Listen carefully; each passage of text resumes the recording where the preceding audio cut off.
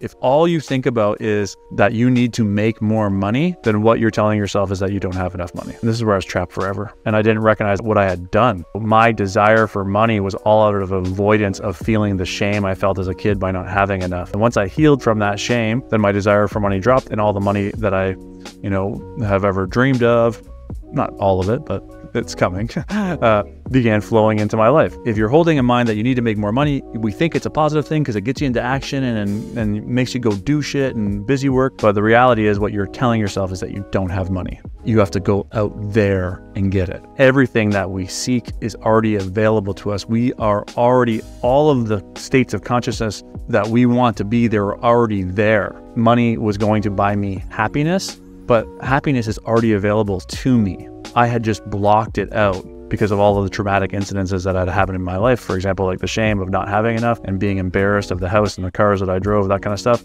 I put up a wall to happiness. And the only way I was going to get back to happiness was when I made money so I didn't experience that shame again.